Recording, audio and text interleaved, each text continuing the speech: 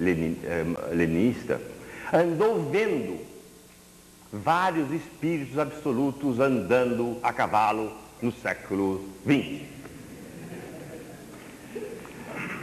O espírito absoluto a cavalo foi identificado por este líder revolucionário que logo tirou as suas manguinhas de fora e mostrou que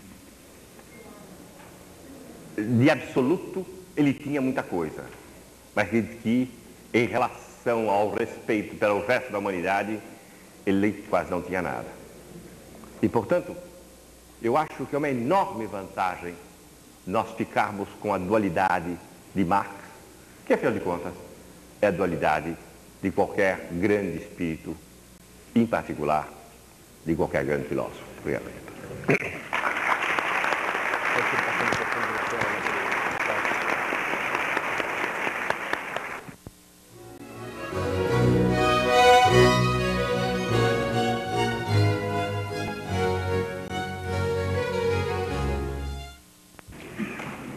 O de Marx conta aquela clássica expressão dele, quando ele leu o livro do genro dele, dizendo, de minha parte eu não sou marxista. Né?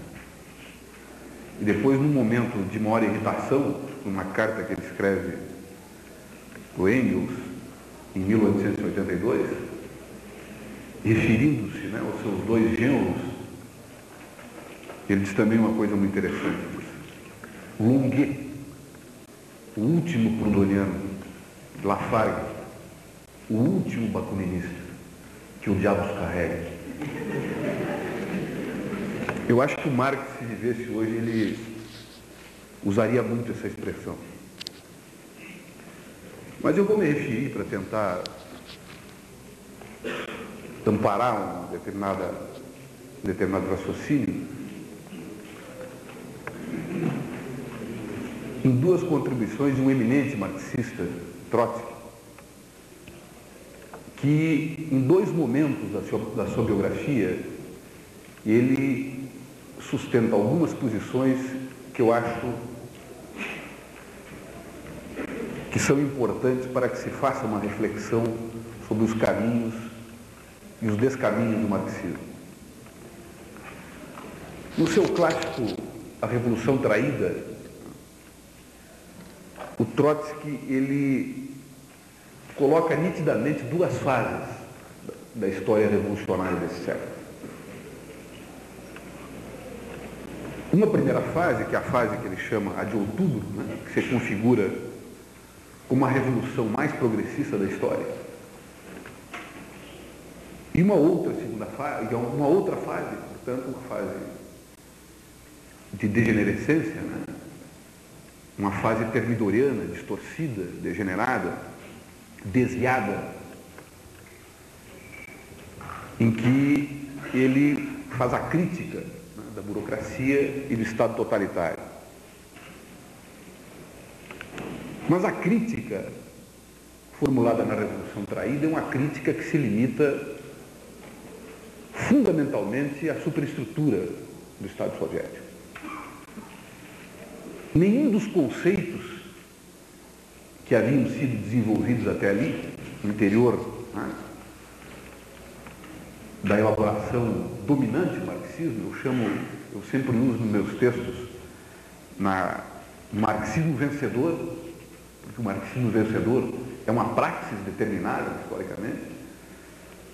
Nenhum dos conceitos de Estado, natureza da Revolução Russa, função do partido, capacidade dirigente do proletariado, nenhum desses, desses conceitos foi revisado pelo Trotsky. Toda a sua elaboração se fundamenta, ela tem como núcleo racional, como núcleo gerador, a traição da direção burocrática, né, revisionista. Então, o próprio desdobramento teórico, né, que Trotsky dá pelo menos até 39, ele é coerente com a visão de que existe uma elaboração marxista verdadeira e uma degenerescência, um desvio do marxismo que redunda na experiência burocrático totalitária.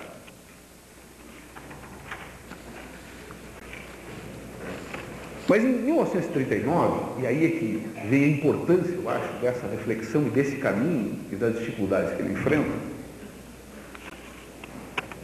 num texto que consta na sua obra Terceira Internacional, depois de Lenin, o Trotsky ele propõe abertamente um teste de validade para o marxismo vencedor. As categorias sobre as quais fundamentalmente Lenin e Trotsky trabalharam, função dirigente proletariado, Estado, né? marxismo né? como né? um patamar de elaboração científica da política, etc., é o mesmo. E o Trotsky, em 39, no patamar, né? na, na porta da Segunda Guerra Mundial, ele começa a desconfiar que alguma coisa vai mal. Então ele lança o seguinte desafio para o seu roteiro. A Segunda Guerra Imperialista, Trotsky, coloca as tarefas não resolvidas em um nível histórico mais elevado. A guerra é uma prova não apenas da estabilidade dos regimes existentes, mas também da capacidade do proletariado de substituí-los. Os resultados dessa prova terão, indubitavelmente, um significado decisivo para a nossa avaliação da época moderna como época da Revolução Proletária. E aí vem o teste de validade. Se, contra todas as possibilidades, a Revolução de Outubro, durante a guerra atual ou logo depois, não conseguir se estender algum país avançado, e se, ao contrário, o proletariado for obrigado a recuar em todas as frentes, então teremos indubitavelmente de colocar a questão da revisão da nossa concepção da época atual e das forças motrizes dessa época. Trotsky não conseguiu, evidentemente, assassinado pela GPU, não conseguiu levar adiante o seu teste de validade. Em 1959, e essas referências históricas são importantes para fundamental dos pontos de vista a respeito do marxismo. Karl Korsch, que era um adepto, né, pelo menos nos anos 20, nos anos 30, de uma visão cientificista do marxismo, identificava o marxismo como ciência, né, era mais radical, inclusive, que o Lenin nesse sentido. Um esquema que ele prepara para uma das suas últimas conferências, ele aponta vários, cinco ou seis, do que ele chama de pontos críticos do marxismo. Pontos críticos do marxismo. Eu me valho de dois pontos indicados pelo Korsch. Primeiro, que o marxismo faz a sobreestimação do Estado como instrumento determinante da revolução social. E segundo, que o marxismo tem como ponto de partida, e ele fala marxismo né, realmente existente, como ponto de partida a identificação mística do desenvolvimento econômico capitalista com a revolução social da classe operária. Na época de Marx, mesmo na época da Terceira Internacional, a classe reveladora, a classe parteira da, da Revolução Social, a classe parteira